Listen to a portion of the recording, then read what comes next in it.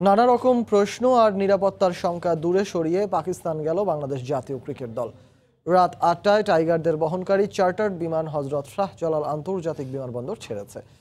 বাংলাদেশ সময় রাত সাড়ে এগারোটায় লাহোরে পৌঁছানোর কথা রয়েছে টাইগারদের। এর আগে বিকেলের পর থেকেই একে একে ক্রিকেটাররা পৌঁছে যান বিমানবন্দরে।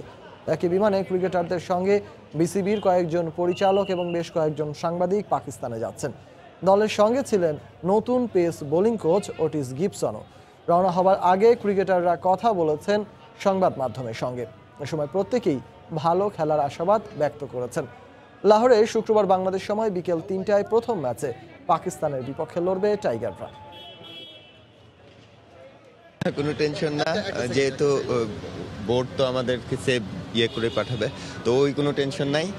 মানে ভালো খেলে দেশে ফিরতে পারি যেন ভালো একটা কিছু নিয়ে ফিরতে পারি এটাই প্রত্যেকটা ম্যাচের সিচুয়েশন এক এক রকম এক এক ম্যাচ এক এক রকম আসবে। তো চেষ্টা করব যে সিচুয়েশনে নামি আমি নিজের বেস্টটা দেবো দুজন সিনিয়র প্লেয়ার নাই থাকলে অবশ্যই ভালো হতো। তো অবশ্যই রেসপন্সিবল নিয়েই রেসপন্সিবল ভাবে খেলতে হবে। তা যতটুকু ইয়ে আসবে চেষ্টা করব ওইভাবে খেলার জন্য।